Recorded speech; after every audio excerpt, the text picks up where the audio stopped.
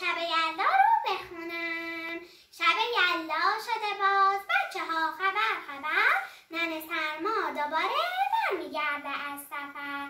بابا امشب خریده آجیل و یه هندونه. مامان مهربونم حال حافظ می‌خونه.